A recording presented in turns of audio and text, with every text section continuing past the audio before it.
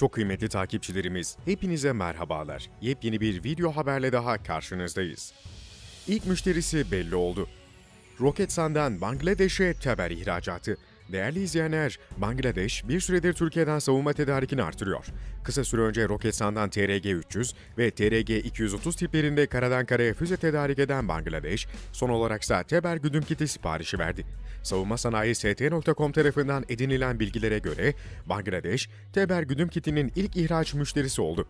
Edinilen bilgiye göre Bangladeş Hava Kuvvetleri Komutanlığı envanterinde yer alan Chengdu F-7BG savaş uçaklarına Türkiye'nin önde gelen roket ve füze sistemleri üreticisi Roketsan tarafından geliştirilen Teber güdüm kiti de entegre edildi.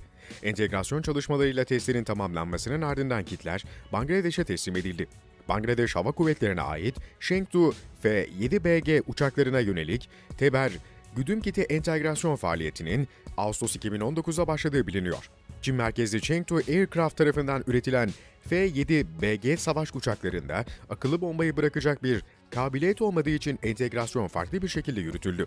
Bu kapsamda Roketsan tarafından geliştirilen ve uçağa takılı mühimmatı akıllı olarak ayırt edilebilen S-Kit de Bangladeş Hava Kuvvetleri Komutanlığı envanterinde yer alan Chengdu F-7BG uçaklarına entegre edildi.